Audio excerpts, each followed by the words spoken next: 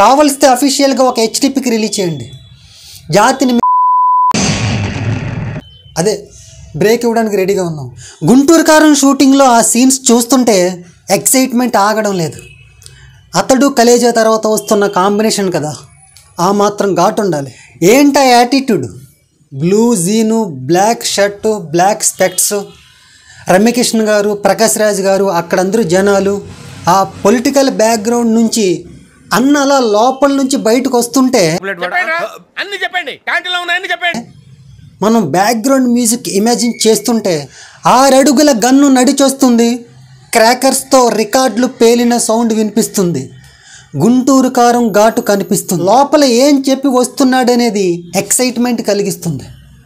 ఇంతకు మించి చెప్పలేను. ఎందుకంటే నాకు కూడా తెలియదు తెలిసినా చెప్పకూడదు. ఒక్కటి మాత్రం చెప్తాను. సీన్స్ ముందే లీక్ అవుతుంటే ముందే చూసేస్తే ఆ ఎక్సైట్మెంట్ పోద్ది కదా. ఆపండి.